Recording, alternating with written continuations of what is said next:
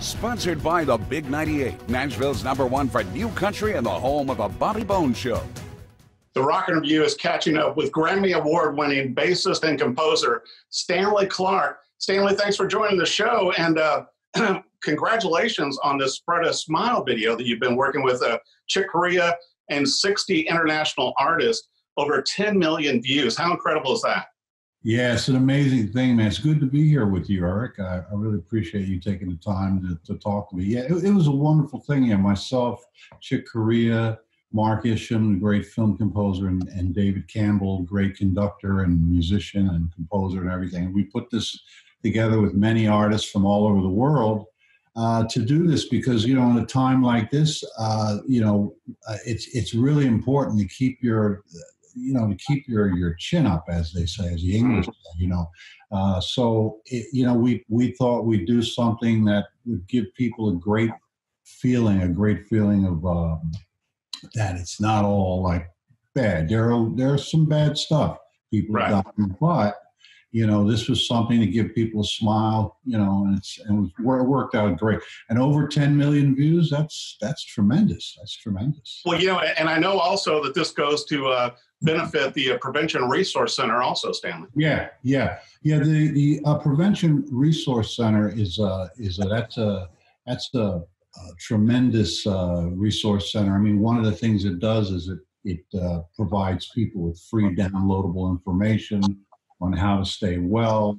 Uh, you know, proper hand washing, social distancing, as well as a PSA uh, that educates people on staying well. And this is this this this is important for something like this education is very very important to see so you know what works and what doesn't work and and uh, and so that's what this this does well and like you said too stanley it's such a positive message and, and you're such a bass icon to where you know uh, the miles davis award you know two honorary doctorates you know and, and it's so fascinating to me you know the first time i got to see you live here in nashville was when you were playing with Return to Forever. Yeah. But you've done so much with the uh, with the Stanley Clarke Band as well. Yeah. And even when you did some stuff, uh, you know, with uh, SMV with Victor.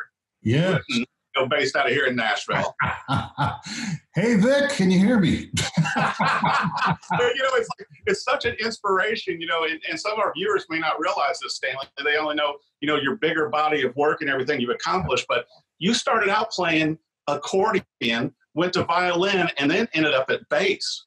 Yeah, it, it was it was an odd thing, you know. Uh, my mother sang opera, you know, semi semi pro opera. So she was she was uh, she was really the the music lover in the house, and she out of myself was myself. I have a younger brother and an older sister, and somehow she must have recognized that uh, that wow, Stanley, music and so she really she really provided me with this support she was a great great person that uh, and so down the street from our house was a you know in those days they had neighborhood music stores and in these stores they usually there was a guy in there that that uh, taught music so my, I remember she she walked me down there. I was I must have been probably nine years old. Oh, wow. And so she walks me in the store and I see these things. They're accordions. I don't know what these things are, man. and she just hands me to this guy. I go in this back room. He puts this monstrosity on me, this huge accordion. And believe it or not, I can play accordion. Wow. Know? So it's so you know I took lessons probably a little over a year and went in there and and uh, and that was the beginning and you know i i just fell in love with music you know i just uh, i loved to listen to my mother sing in all these strange languages i thought she was i said what is she saying this is i don't understand what she's saying there you know she was singing in different languages and opera yeah. And uh, and then eventually i started playing violin had a short career with violin maybe a couple months and an even shorter one at cello and then eventually there was a bass in the corner in the music room in, in, in school. I was probably 12, 13.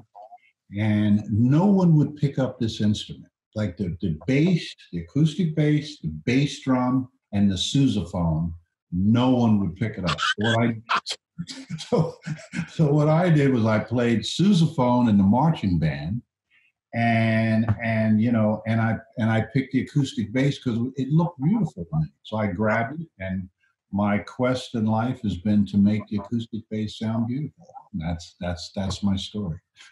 Well i'll tell you what and you're such an inspiration on so many levels stanley including you know you have a bass that is in the Smithsonian. And I was telling you earlier before we started the, the interview, even, you know, every time I'm at a NAMM show and I see you, it's like swarms of people are trying to stop you and get a picture and an autograph and everything. But your body of work extends beyond the bass. I mean, you look at, you know, your record label that you launched, uh, you know, and, and also what you've done, you know, with, with composing for TV and film. It's, yeah. it's just, uh, you know what what a great body of work. And you continue. You were telling me you've got uh, new videos you're working on now. Yeah well you know right before this pandemic uh, was announced um, we filmed about six episodes of a new show that i'm doing which is called all about the bass. And this is a this is a little bit different. It's it it it deals with gear like special gear for the bass. You know the bass um, uh, there haven't been a lot of things that were created specifically for the bass, more for guitar and keyboards. But there's some really interesting things that maybe a lot of bass players aren't aware about. Guys that have invented things specifically for the bass. So we do that. I, I, I interview like bass players, some of my favorite bass players. I recently did a great interview with the bass player for Earth, Wind, and Fire, my old friend um, uh, uh, Verdine White. Oh, what a talent! And then I also did an interview with Jack Casady from Jefferson Airplane. Yeah. You know, and, and he goes way, way back. And what a tremendous interview that gives you a real look and a glimpse at rock and roll history going back, you know, before Woodstock and all that sort of right. stuff. He was there and everything. And so it's a, it, it's, it's a great thing. We also have performances. We're going to live stream a, a, a side thing from that. We're going to because we have a, a, studio in my place and we're going to do, you know, so we're going to live stream some young bands, also my band.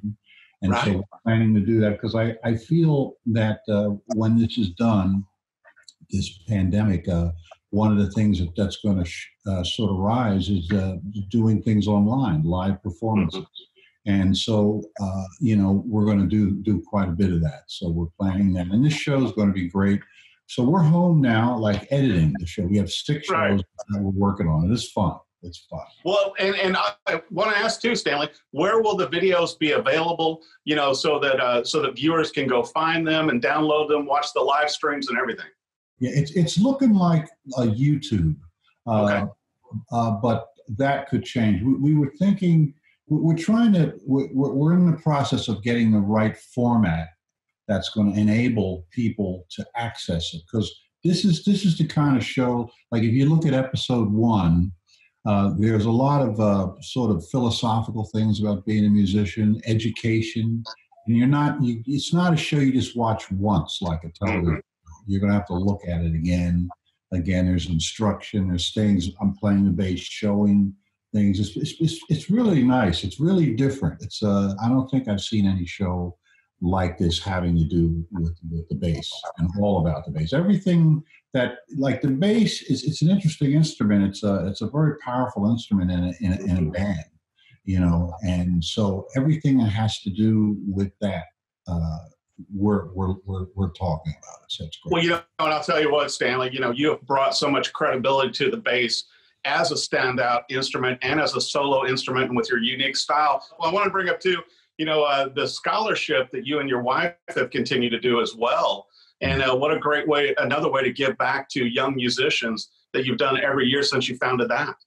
Yeah, that's a that's a really uh, a beautiful program that actually my wife came up with the idea. She she just one day, I I, I think we're in our 15th or 16th year. I'm not sure. I've lost track, but you know we've given a lot of scholarships to a lot of uh, kids uh, to, for higher learning in music.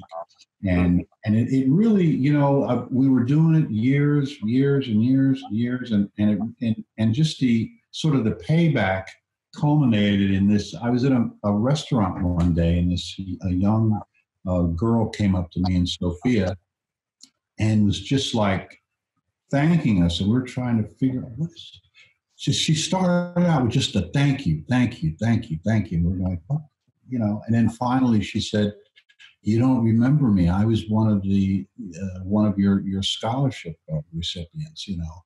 And wow. she, and she just happened to have her album in her in her bag. I made an album and I'm playing and uh, I did a short tour in Europe. Thank you so much. And and so that that that made it for me. That made made made my day. And uh, so we we keep like plugging along with it, and uh, and it's a it's a wonderful thing, man. You know, music education is a is a, is a wonderful thing. It, it's and it's nice to help people. So we're going to do we're going to skip this year, uh, obviously, but next year we're going to make a really big one, two years in one. Well, I'll tell you what, and, and I got to tell you, Stanley, it's such a great way, as you have done in so many ways, to give back to the music community and helping out those people, you know, young musicians to get more education. I want to make sure our viewers know also with your website, social media, everything, where should they go to find you, to check out the new videos coming, uh, virtual shows with the Stanley Clarke Band, everything you've got going on, where should they go? Yeah, well, there's stanleyclarke.com. Uh, you can also uh, find me on uh, uh, Instagram. You can find me on Twitter. Instagram is Stanley Clarke, and uh, and on Twitter it's Stanley Clarke as well. And I'm on Facebook, obviously. So I'm, I'm fully fully covered there. And so yeah, come on out and join in the conversation. Let's go. well, I'll tell you what. Congratulations again on being a part of Spread a Smile with your buddy Chick Corea and 60 other international musicians. And uh, what a great cause with that as well to, to help out with the resource center and everything. I, I think, you know, uh, you're just one of those guys, such a gifted musician, Stanley, but it's great to see how you continue to give back. And uh, thanks for joining the Rock Review.